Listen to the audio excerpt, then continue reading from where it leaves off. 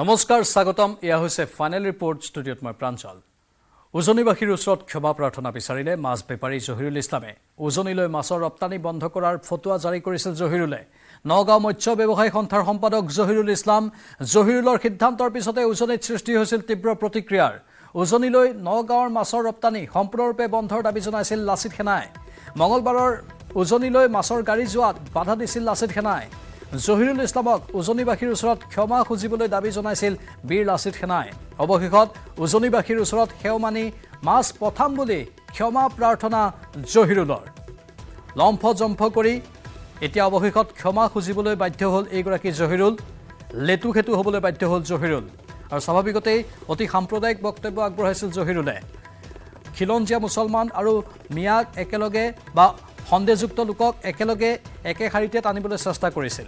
সন্দেহযুক্ত লোকক আৰু মুছলমান সমাজক একেলগে একে শাৰীত টানিবলৈ চেষ্টা কৰি বিভাজনৰ সৃষ্টি কৰিবলৈ চেষ্টা কৰিছিল এইগৰাকী জহিৰুলে। উজনি অসমবাসীৰ বা উজনি অসমৰ দল সংগঠনে মাত্ৰ এটাই কথাই কৈছিল যে সন্দেহযুক্ত লোককহে আমি উজনি ত্যাগ কৰিবলৈ আহ্বান জনাইছোঁ। কিন্তু জহিৰুল আৰু তেওঁৰ সতীৰ্থসকলে এই সমগ্ৰ ঘটনাক অন্য ৰূপ দিবলৈ চেষ্টা কৰিছিল আৰু তেওঁলোকে ইয়াত গোটেই মুছলমান সমাজক টানি আনিছিল। সংগঠনবোৰে হেনো মুছলমানক উজনিৰ পৰা খেদিবলৈ চেষ্টা কৰা বুলি অভিযোগ উত্থাপন কৰিছিল। আৰু এনেধৰণে মিছা বা অপপ্ৰচাৰ চলাই এওঁলোকে সমাজখনক দ্বিবিভক্ত কৰিবলৈ চেষ্টা কৰাৰো অভিযোগ উত্থাপন হৈছিল। আৰু উজনিলৈ মাছ নপঠিয়াও বুলি হুংকাৰ দিয়া এই দুজনে এতিয়া অৱশেষত ক্ষমা খুজিবলৈ বাধ্য হৈছে আৰু ক্ষমা খুজি পুনৰ উজনিলৈ মাছ পঠাম বুলি উল্লেখ কৰিছে।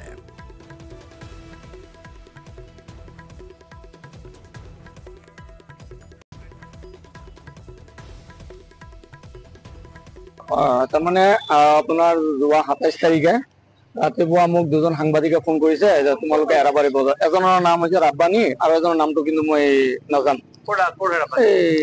এৰাবাৰী বজাৰত। তেতিয়া সিহঁতে ফোন কৰিছে যে তোমালোকে এৰাবাৰী বজাৰত আহা। মই কৈছো কিয়?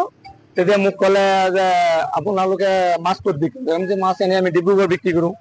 ডিব্ৰুগড় বিক্ৰী কৰো। ডিব্ৰুগড় বিক্ৰী কৰো। তেতিয়া কৈছে বৰ্তমান যে এনেকুৱা পৰিস্থিতি হৈ আছে।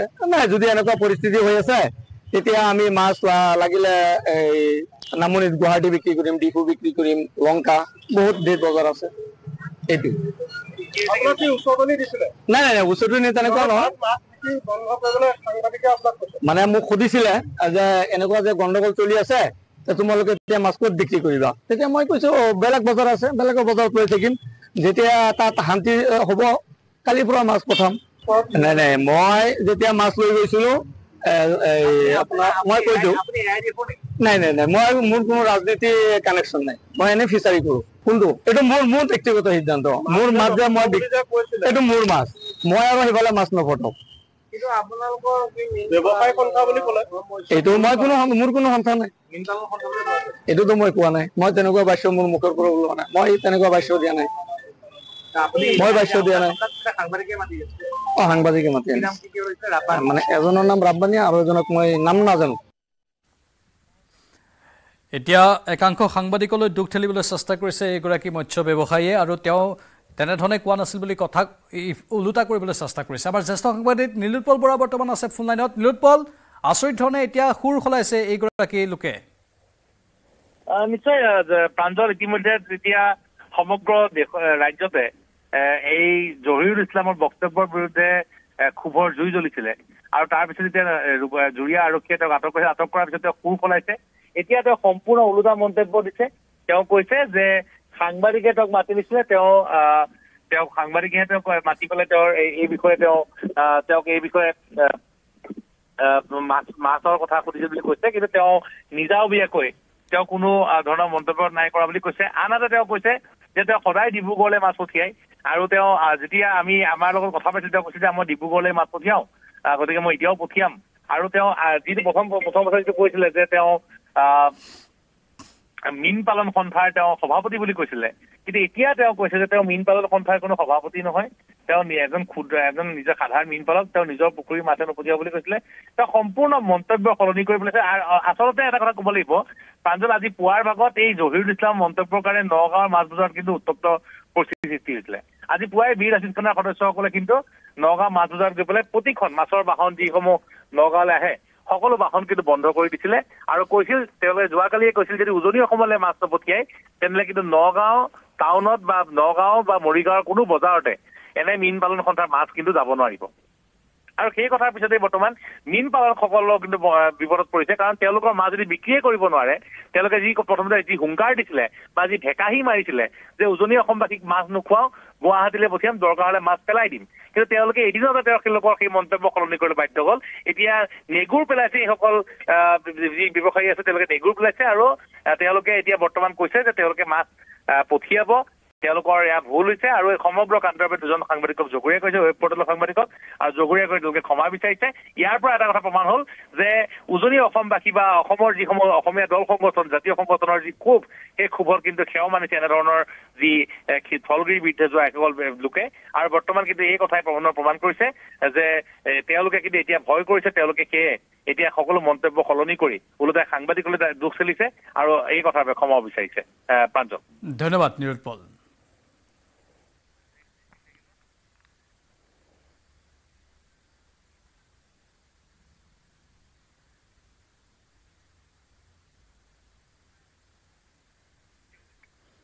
বাঘৰ আক্ৰমণ আৰু বনকৰ্মীৰ মুণ্ডহীন মৃতদেহ উদ্ধাৰ ওৰাঙত।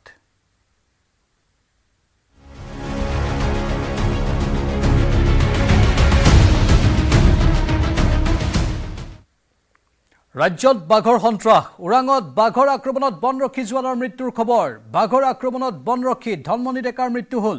টহল দি থকাৰ সময়তে বাঘে আক্ৰমণ কৰিছিল ধনমণিক ৰাইফলসহ ধনমণিক জংঘললৈ চোচৰাই লৈ গৈছিল বাঘটোৱে। সতীৰ্থৰ সন্মুখতে বাঘে আক্ৰমণ কৰি চোচৰাই নিছিল ধনমণিক। ঘটনাস্থলীৰ সমীপৰ জংঘলতে উদ্ধাৰ ধনমণিৰ মৃতদেহ। ধনমণিৰ মৃতদেহৰ লগতে উদ্ধাৰ কৰিছে ৰাইফল। ওৰাং ৰাষ্ট্ৰীয় উদ্যানত বাঘৰ আক্ৰমণত বনৰক্ষীৰ মৃত্যুৱে চাঞ্চল্যৰ সৃষ্টি কৰিছে। সাধাৰণতে বাঘে এনেধৰণে বনৰক্ষীক আক্ৰমণ নকৰে কিন্তু এইবাৰ কৰিছে ওৰাং ৰাষ্ট্ৰীয় উদ্যানত। ওৰাং যিহেতু তাত ব্যাঘ্ৰ প্ৰকল্পও আছে আৰু ব্যাঘ্ৰ প্ৰকল্প হিচাপে ওৰাং ৰাষ্ট্ৰীয় উদ্যানক ঘোষণা কৰা হৈছে। তাত বনৰক্ষীসকল বাঘৰ সুৰক্ষাৰ বাবে নিয়োজিত হৈ থাকে সেই বনৰক্ষীৰ ওপৰতে বাঘে আক্ৰমণ কৰিছে।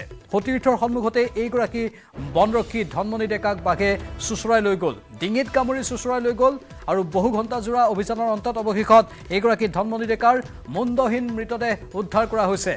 এই বাঘটো নৰসাধক হৈ পৰাৰ লগে লগে এতিয়া আতংকৰ সৃষ্টি হৈছে ওৰাঙৰ আশে পাশে থকা স্থানীয় লোকসকলৰ মাজত আৰু একাংশ বনকৰ্মীৰ মাজতো। ওৰাঙত বাঘৰ আক্ৰমণত বনৰক্ষীজনৰ মৃত্যুৰ পাছতে এতিয়া হাহাকাৰ লাগিছে। বাঘৰ আক্ৰমণত ধনমণি ডেকা নামৰ বনৰক্ষীগৰাকীৰ মৃত্যু হৈছে। টহল দি আছিল তেওঁলোকে আৰু টহল দি থকাৰ সময়তে বাঘে আক্ৰমণ কৰে ধনমণিক। ৰাইফলসহ ধনমণিক জংঘললৈ চোচৰাই লৈ গৈছিল বাঘটোৱে। সতীৰ্থৰ সন্মুখতে বাঘে আক্ৰমণ কৰি চোচৰাই নিছিল ধনমণিক। আমাৰ সতীৰ্থ সাংবাদিক নৱজ্যোতি মহন্ত বৰ্তমান ফুলাইনত আছে। নৱজ্যোতি অতি দুৰ্ভাগ্যজনক খবৰ আৰু কি তথ্য আছে আপোনাৰ লগত? নিশ্চয়কৈ প্ৰাঞ্জল এক শিহৰণকাৰী আচলতে ঘটনা বুলি ক'ব লাগিব। যে ওৰাং ৰাষ্ট্ৰীয় উদ্যানৰ বিলপাৰ ৰেঞ্জত এই ঘটনা সংঘটিত হৈছে। আৰু বিলপাৰ ৰেঞ্জ যিহেতু বাঘৰ ঘনত্ব যথেষ্ট। আৰু যদিও এইবাৰ ওৰাং ৰাষ্ট্ৰীয় উদ্যানৰ পৰিসীমা বঢ়াই দিয়া হৈছিল তথাপিও কিন্তু যিসমূহ অঞ্চলত বাঘ থাকে সেই বাঘ থকা অঞ্চলসমূহৰ পৰা কিন্তু পৰিসীমা বঢ়াই দিয়া অঞ্চললৈকে কিন্তু বাঘসমূহ যোৱা নাছিল। যাৰ কাৰণে বাঘৰ ঘনত্ব এই অঞ্চলসমূহত বেছি আছিল। আৰু এই অঞ্চলসমূহত আচলতে প্ৰায় টহল দি থাকে বনৰক্ষীৰ লগতে যিসকল গৃহৰক্ষী জোৱানসকলে। আৰু এইসকল জোৱানে এজন জোৱানে আচলতে সন্ধিয়াৰ ভাগত যিহেতু টহল দি আছিল তেনে সময়তে বাঘে আক্ৰমণ কৰি কৰে আৰু বাঘে আক্ৰমণ কৰাৰ লগে লগে সহকৰ্মী এজন আছিল আৰু সহকৰ্মীজনে বন্দুক ফুটাই বন্দুকৰ বন্দুক ফুটাই দিছিল আৰু ফুটাই দিয়াৰ পিছত বাঘটো বাঘটোৱে এই জোৱানজনক আচলতে চোচৰাই লৈ বহুত দূৰলৈ লৈ গৈছিলে। বন্দুকটো পৰি ৰৈছিল লগতে বহু দূৰত আচলতে আহ, মৃতদেহ উদ্ধাৰ কৰিবলৈ সক্ষম হৈছিল পলায়ন কৰিছিল। সেই ঠাইৰ পৰা বাঘটো মৃতদেহ উদ্ধাৰ কৰা হৈছে। ইতিমধ্যে আহ, গৃহৰক্ষী জোৱানজনে আৰু এটা কথা উল্লেখ কৰিব লাগিব যে এই ওৰাং ৰাষ্ট্ৰীয় উদ্যান যিটো ব্যাঘ্ৰ প্ৰকল্প হিচাপে জনাজাত আৰু বিশেষকৈ যিটো বাঘৰ ঘনত্ব যথেষ্ট আৰু এই যি বাঘৰ ঘনত্ব যথেষ্ট হোৱাৰ কাৰণে এই ধৰণৰ ঘটনা হোৱা বুলি ইতিমধ্যে উল্লেখ কৰিছে আহ, বন বিভাগে কিন্তু আৰু ইয়াৰ নৱজ্যোতি লগতে আগতে ক'ব- হোৱা নাছিল কাহানিও হোৱা নাই ওৰাঙত এনে ঘটনা? এয়া এয়া এই ঘটনা কিন্তু এয়া ওৰাং ৰাষ্ট্ৰীয় উদ্যানৰ প্ৰথমবাৰৰ কাৰণে ঘটনা সংঘটিত হৈছে আৰু যাৰ কাৰণে এটা কথা ভয় হৈছে যে বন কৰ্মীসকলে এতিয়া কি ধৰণে আচলতে ওৰাং ৰাষ্ট্ৰীয় পহৰা দিব? কাৰণ এজন যেতিয়া বাঘে আক্ৰমণ কৰে কোনো লোকক বা বাঘে যেতিয়া মানুহৰ তেজ এবাৰ খায় তেতিয়াহ'লে কিন্তু এয়া পিছৰলৈকে ভয়াৱহ হৈ পৰে। তাৰ কাৰণে এতিয়া ভয় ভয় আতংকত বিৰাট কৰিছে কিন্তু নৱজ্যোতি এটা আচৰিত ধৰণৰ কথা মুণ্ডহীন মৃতদেহ উদ্ধাৰ কৰা হৈছে। মুণ্ডটো লৈ গ'ল বাঘে। কিন্তু সেই বনৰক্ষীগৰাকীৰ শৰীৰৰ আন অংশত একো আঘাত নকৰিলে নেকি? নিশ্চয়কৈ ডিঙিত ইতিমধ্যে বাঘটোৱে ডিঙিত আক্ৰমণ কৰিছে যিহেতু মৃতদেহ উদ্ধাৰ হৈছে আমি মৃতদেহ পোৱাৰ লগে লগে আমি ফটো পোৱাৰ লগে লগে আমি জানিব পাৰিম। যিহেতু ডিঙিত আক্ৰমণ কৰা বুলি জানিব পৰা গৈছে বাঘটোৱে যাৰ কাৰণে আচলতে মুখৰ ভাগত আক্ৰমণ কৰিছে মুখ মুখখন আহ, আচলতে বাঘে আক্ৰমণ কৰিছিল যাৰ কাৰণে এই মৃতদেহ উদ্ধাৰ কৰা গৈছে বুলি জানিব পৰা গৈছে। প্ৰাঞ্জল নৱজ্যোতি আপুনি পৰৱৰ্তী সময়ত অধিক তথ্য সংগ্ৰহ কৰি আমাৰ দৰ্শকসকলক জনাব। এই মুহূৰ্তত ধন্যবাদ জ্ঞাপন কৰিছোঁ।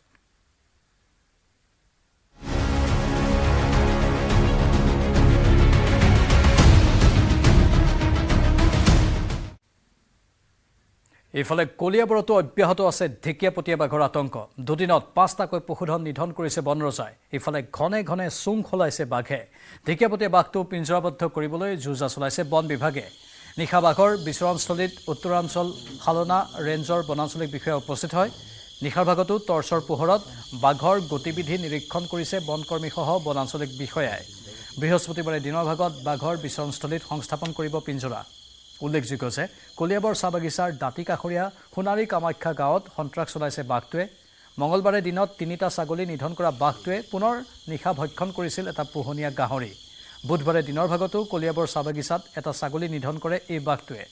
আনহাতে কলিয়াবৰ চাহ বাগিচাৰ মাজেৰে যোৱা পথটোত বৃহস্পতিবাৰে পুৱাৰে পৰা মোতায়েন কৰা হয় আৰক্ষী মোতায়েন কৰা হ'ব কাইলৈৰ পৰা আৰক্ষী জোৱান। বাঘটো ফাৰ্ষ্ট আমি পালোঁ পাই পেলাই তাৰ ওপৰত উঠি গ'ল। উঠাৰ পিছত আৰু উঠি গ'ল ওপৰত।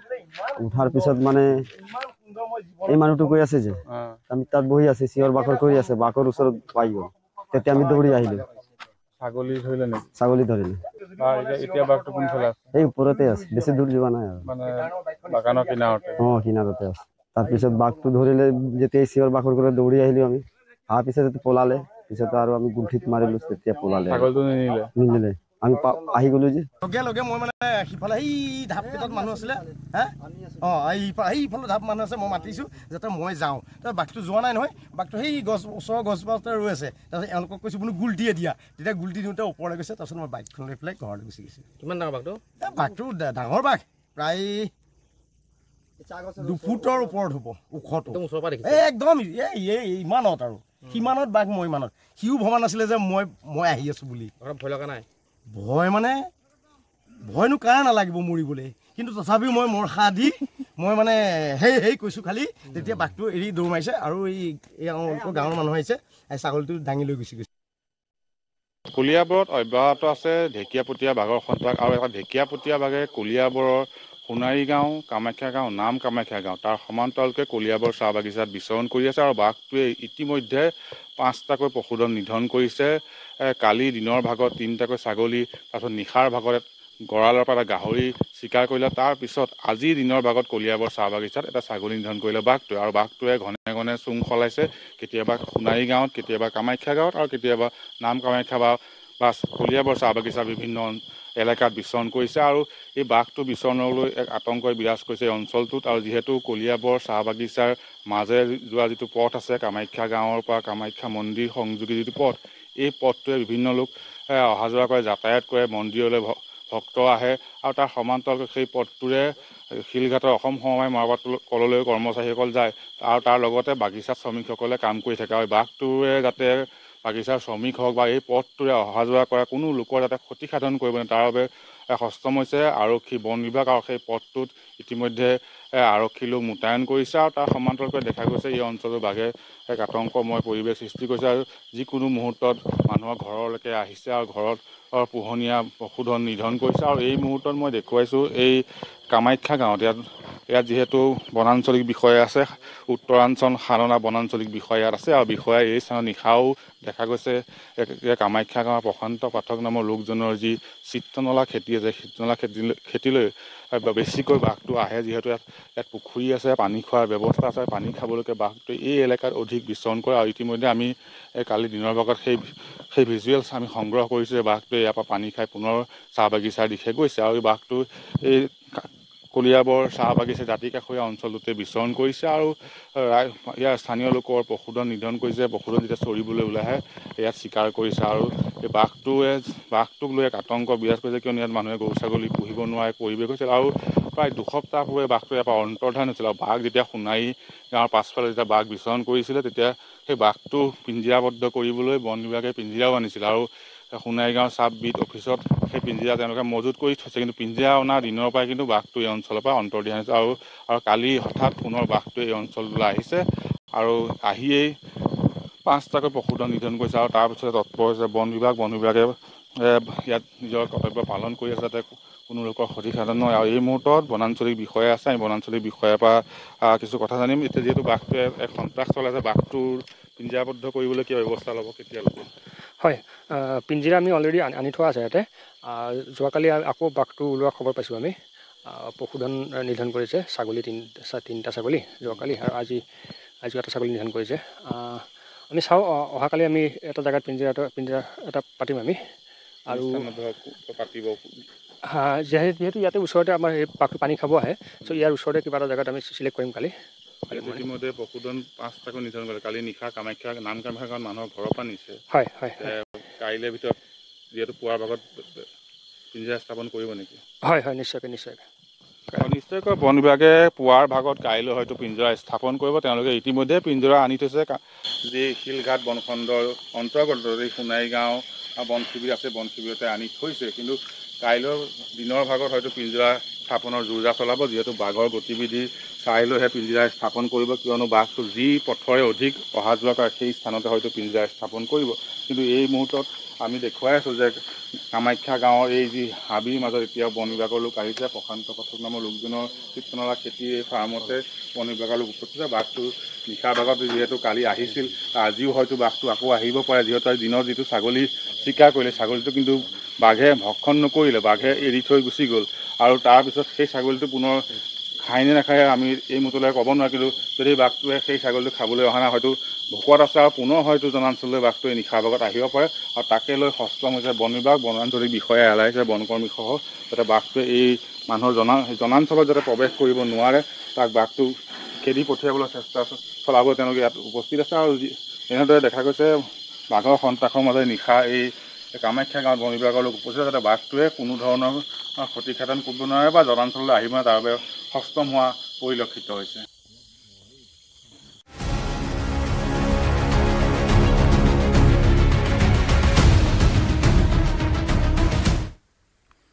ভ্ৰাম্যমাণ থিয়েটাৰৰ মঞ্চত দুৰ্ঘটনাত পতিত হ'ল যতীন বৰা। মঞ্চৰ পৰা বাইকসহ বাগৰি পৰিল যতীন বৰা। বাইকসহ দৰ্শকৰ মাজত বাগৰি পৰিল অভিনেতাগৰাকী। এই ভয়ংকৰ ঘটনাত শিশু মহিলাসহ আহত হ'ল সাতজন দৰ্শক। এই ঘটনাত আহত হৈছে থিয়েটাৰৰ এগৰাকী লোক। আহতসকলক চেঙা আদৰ্শ চিকিৎসালয়ত ভৰ্তি কৰোৱা হয়। ইয়াৰ দৃশ্য দেখুৱাইছোঁ। মঞ্চৰ ৰেম্পত দৰ্শকৰ মাজেৰে বাইক চলাই গৈছিল অভিনেতা যতীন বৰাই। মঞ্চৰ ট্ৰেকত বাইক চলাই যোৱাৰ সময়তে বাগৰি পৰিল অভিনেতাগৰাকী। ইতিহাস থিয়েটাৰৰ দ্বিতীয় নিশাৰ দৰ্শনীৰ মাজতে এই অঘটন সংঘটিত হয়। গেলাৰীৰ পৰা মঞ্চলৈ দৰ্শকৰ মাজেৰে ট্ৰেকত বাইক চলাই অহাৰ সময়তে বাগৰি পৰে যতীন বৰা। ঘটনাস্থলীত উপস্থিত হ'ল তাৰাবাৰী আৰক্ষী আৰু তেওঁলোকে তদন্ত আৰম্ভ কৰিছে। এই দৃশ্য দেখুৱাইছোঁ আমি আপোনালোকক। এয়া চাওক ইতিহাস থিয়েটাৰৰ মঞ্চত এক অঘটন। ৰেম্পত বাইক চলাই যিহেতু দৰ্শকৰ মাজত চমক দিবলৈ চেষ্টা কৰিছিল আৰু সাধাৰণতে ভ্ৰাম্যমাণ থিয়েটাৰত এতিয়া এনেধৰণৰ বহু চমক দেখিবলৈ পায় দৰ্শকসকলে। বহু দৰ্শক আনন্দিতও হৈ এনেধৰণৰ চমক দেখি কিন্তু তাৰ মাজতে এক ভয়ানক অঘটন সংঘটিত হ'ল। শিশুসহ দৰ্শকৰ গাত বাগৰি পৰিল অভিনেতা যতীন বৰা। বাইক চলাই গৈ থাকোঁতেই ৰেম্পৰ মাজেৰে এনেধৰণৰ অঘটনটো সংঘটিত হ'ল। পাছত চেঙা আদৰ্শ চিকিৎসালয়ত ভৰ্তি কৰোৱা হয় আহতসকলক। অতি দুৰ্ভাগ্যজনকভাৱে এই ঘটনাত শিশুসহ মহিলা আঘা- আঘাতপ্ৰাপ্ত হৈছে থিয়েটাৰৰ কৰ্মী আঘাতপ্ৰাপ্ত হৈছে। আমি সেই দৃশ্য দেখুৱাইছোঁ। এয়া অভিনেতা যতীন বৰাই মঞ্চৰ পৰা ৰেম্পলৈকে বা দৰ্শকৰ মাজেৰে যি ৰেম্পৰ ব্যৱস্থা কৰা হৈছিল সেই ৰেম্পেদি বাইক চলাই যোৱাৰ সময়তেই হঠাৎ দৰ্শকৰ মাজত বাগৰি পৰে আৰু স্বাভাৱিকতেই গধুৰ এখন বাইক আৰু সেই বাইকখন যেতিয়া দৰ্শকৰ গাৰ ওপৰত পৰিব তেতিয়া আঘাতপ্ৰাপ্ত হোৱাটো স্বাভাৱিক আৰু গুৰুতৰভাৱে আঘাতপ্ৰাপ্তও হ'ব পাৰে তেনেধৰণৰ আশংকা থাকে। বৰ্তমান চিকিৎসালয়ত চিকিৎসা চলি আছে আঘাতপ্ৰাপ্ত লোকসকলৰ।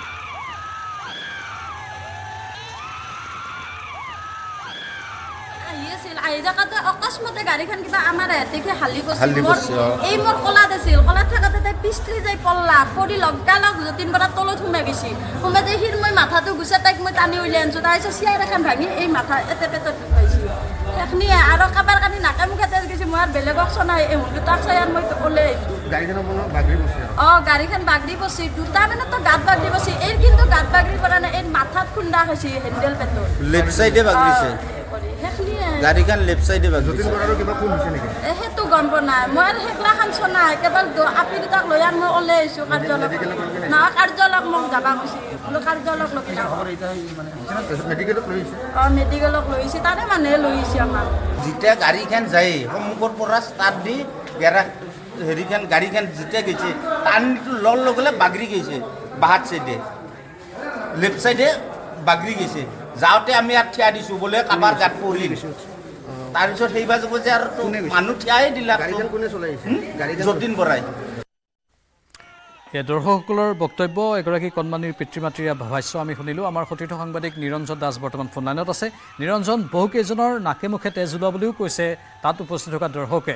আঘাতপ্ৰাপ্তসকলৰ অৱস্থা কেনেকুৱা আৰু কি কি তথ্য আছে আপোনালোকৰ হয় প্ৰাঞ্জল। আচলতে আজি গোটেই দৃশ্যটো দেখাই পাইছে যে যতীন বৰাই ৰেম্প এটা ৰেম্প বনোৱা হৈছিল আৰু সেই ৰেম্পেৰে যি বাইক বাইক চলোৱা এটা দৃশ্য দেখুৱাব বিচাৰিছিল যে দৰ্শকৰ পিছফালৰ পৰা গেলেৰীৰ ফালৰ গেলেৰীৰ চাইডৰ ফালৰ পৰা গৈ আছিল আৰু সেই মুহূৰ্ততে হঠাতে কিবা বিজুতি ঘটিল আৰু তেখেত দেখিবলৈ পাইছে যে বাগৰি পৰে বাওঁ হাতে বাগৰি পৰে আৰু বাগৰি পৰাৰ ফলত কিছু লোকৰ ওপৰত যি দৰ্শক আছিল দৰ্শকৰ ওপৰত আচলতে বাগৰি পৰে আৰু দৰ্শকৰ কিছু জখম হয়। সাতজনমান দৰ্শক তাত আঘাতপ্ৰাপ্ত হয়।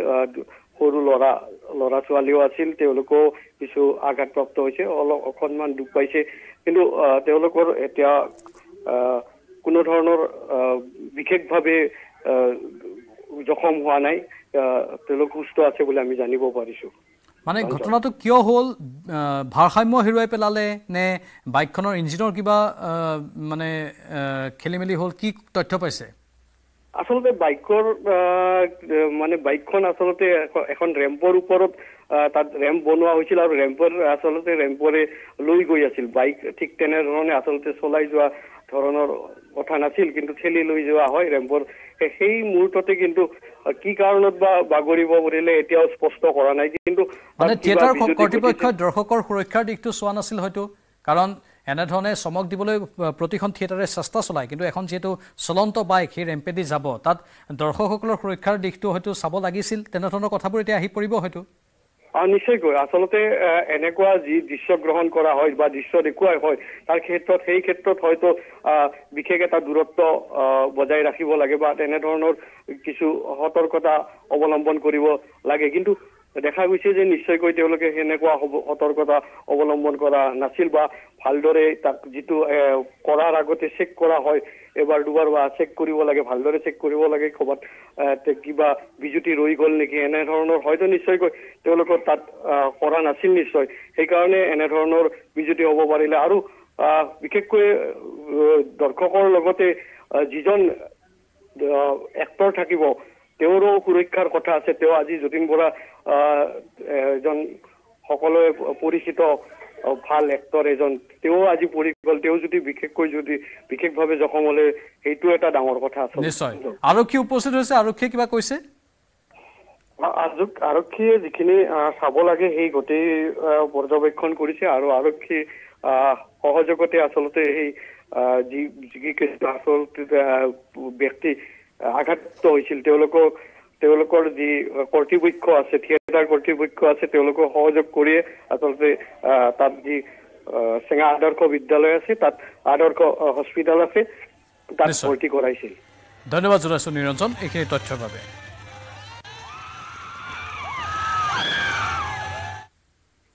বাতৰি এইখিনিতে সময় হৈছে বাণিজ্যিক বিৰতিৰ।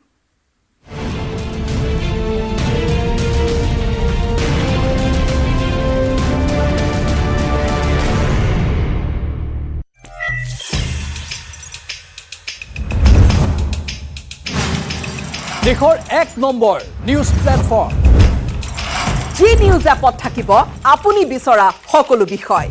খেল ৰাজনীতি চিনেমাৰ পৰা স্বাস্থ্য শিক্ষা আৰু জীৱনশৈলীলৈ। নিউজৰ প্ৰায় সকলো বিষয় সামৰি শ্বেয়াৰ ফৰৱাৰ্ড আৰু চেল একমাত্ৰ এপ য'ত পোন্ধৰটা ভাষাত পাব লাইভ ভিডিঅ' যি আপোনাৰ অঞ্চলৰ ভিন ভিন বিষয়ৰ নিউজ সংগ্ৰহ কৰে। আৰু সত্যাসত্য নিৰূপণ কৰে। আপোনাৰ নিউজ এইটিনৰ এইটিন এপ ডাউনলোড কৰিবলৈ স্কেন কৰক এই কিউ আৰ কোড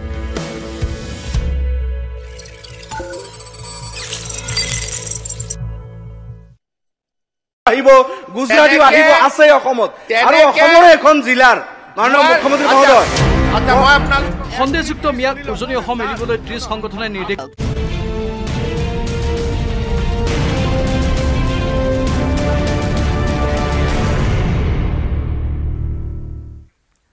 এইবাৰ নলবাৰীত ৰাজতিলক থিয়েটাৰৰ মঞ্চতো অঘটন। মঞ্চৰ পৰা পৰিল অভিনেত্ৰী শ্যামন্তিকা শৰ্মা।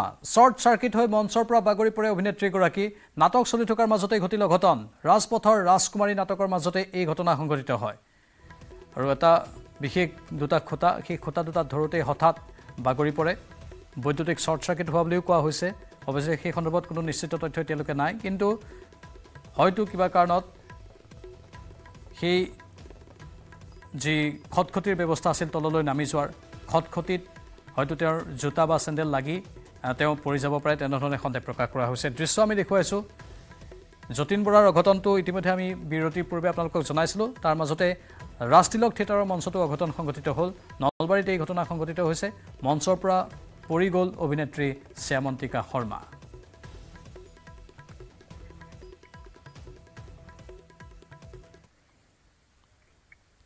তিনিচুকীয়াত পুনৰ শিশু ধৰ্ষণৰ ঘটনা। লম্পট জিতেন চাহুৰ কামনাৰ বলি হ'ল দহ বছৰীয়া শিশু। জন্মাষ্টমীৰ দিনা চিকাজানত সংঘটিত হৈছিল এই জঘন্য কাণ্ড। শিশুটিক মোবাইল দেখুওৱাৰ প্ৰলোভনেৰে ধৰ্ষণ কৰে জিতেনে। এই ঘটনা সন্দৰ্ভত গেলাপুখুৰী থানাত এজাহাৰ দাখিল কৰিছে ভুক্তভোগী মাতৃয়ে।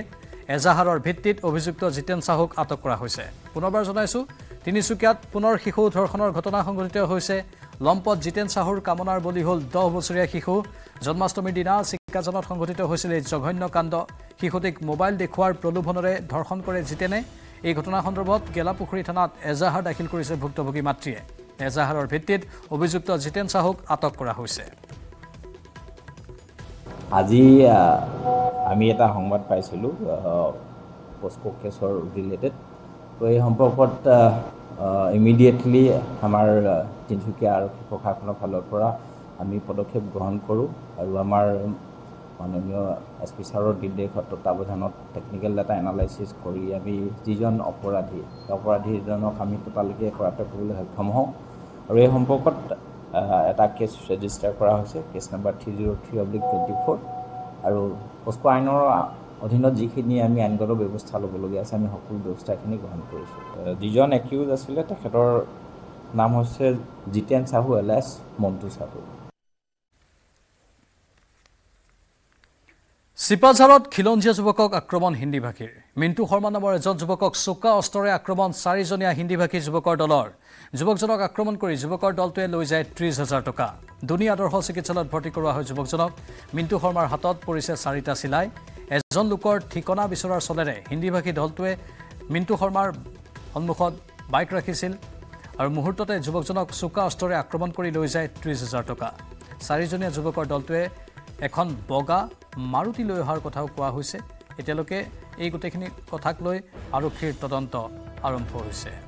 এফালে কোৱা হৈছে যে মিণ্টু শৰ্মাৰ বাইক তাত ৰখা হৈছিল। আনফালে কোৱা হৈছে এখন গাড়ী লৈ আহিছিল। এই সমগ্ৰ বিষয়টো এতিয়াও আৰক্ষীৰ তদন্ততহে স্পষ্ট হ'ব বুলি উল্লেখ কৰা হৈছে। গৈ আছিলোঁ মোৰ ঘৰ ফেৰুৱা দুনীৰ পৰা বজাৰ কৰি গৈ আছিলোঁ। বজাৰ কৰি গৈ থোৱা অৱস্থাত আপোনাৰ দুনী ভেৰুৱা ৰাস্তাত মোক এজন মানুহে এড্ৰেছ সোধাই এখন এল্ট' ৰাখি। তাৰ পৰা মই গাড়ীখন ৰাখি মই তেওঁ এড্ৰেছটো ক'ব খোজোঁতে তেওঁ মোক ঘাঁ মাৰি দিয়ে আৰু এই মোৰ বুকৰ পকেটৰ পৰা ত্ৰিছ হাজাৰ টকা আছিলে সেইটো লৈ যাই উঠাব হয়। চাৰিজন আছিলে। এইবাৰ ঢেকীয়াজুলিত চলন্ত ট্ৰেভেলাৰত কিশোৰী নিৰ্যাতনৰ ঘটনা। লম্পট মইনুদ্দিন আলীক জঘন্য কাণ্ড মইনুদ্দিন আলীৰ। দহ বছৰীয়া কিশোৰীক নিৰ্যাতন মইনুদ্দিনৰ গুৱাহাটীৰ পৰা তেজপুৰ অভিমুখী ট্ৰেভেলাৰত এই জঘন্য কাণ্ড সংঘটিত কৰে। ৰাইজে কৰায়ত্ব কৰি আৰক্ষীক চমজাই দিলে মইনুদ্দিনক। পুনৰবাৰ ঢেকীয়াজুলিত অঘটন সংঘটিত হৈছে।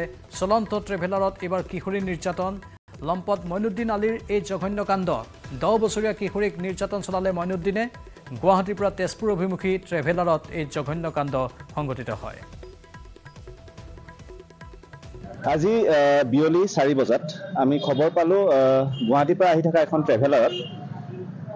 সেই ল'ৰাজন উঠিছিলে নলবাৰীৰ তেওঁ মুকলমুৱাৰ হয় জালুকবাৰীৰ পৰা উঠিছিলে। দহ দহ বছৰীয়া কিশোৰী ই এজনী আমাৰ চিৰাজুলিৰ পৰা উঠোতে তেওঁ আগত বহিছিলে। আগত বহাৰ পিছত তেওঁ পিছফালৰ পৰা কিছুমান নকৰিবলগীয়া কাম যিটো আমি কওঁ গুড টাচ বেড টাচ যিটো বেড টাচ সেইটো কৰি আছিলে পিছফালৰ পৰা। তাত চুই মেলি তাত কিছুমান তাত নকৰিবলগীয়া কাম কৰি আছে নিৰ্যাতন কৰি আছিলে তাত। আৰু সেইটো অনুযায়ী গম পোৱাৰ লগে লগে আমি খবৰ পালোঁ। খবৰ পাই পেলাই তেওঁক ইতিমধ্যে আনি পেলাই ঢেকীয়াজুলি থানাত তাত সোমোৱাই থোৱা হৈছে আৰু তেওঁ গৈ আছিলে দোলাবাৰীলৈ কাম কৰিবলৈ আচলতে। আমি গম পোৱা মতে তেওঁ দোলাবাৰীলৈ কাম কৰিবলৈ গৈ আছিলে। আৰু তেওঁৰ নামটো আমি ভিতৰলৈ গৈ পোৱাগৈ নাই। তেওঁ মুছলিম সম্প্ৰদায় বুলি আমি গম পাইছোঁ আচলতে।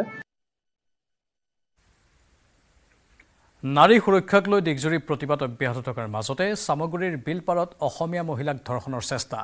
চুকুৰ আলী নামৰ এটা লম্পটৰ বিবাহিত মহিলাক ধৰ্ষণৰ চেষ্টা। চামগুৰিৰ হস্পিটেল পথৰ এখন দোকানলৈ বজাৰ কৰিবলৈ যোৱাৰ সময়তে মহিলাগৰাকীক ধৰ্ষণৰ চেষ্টা কৰে চুকুৰে।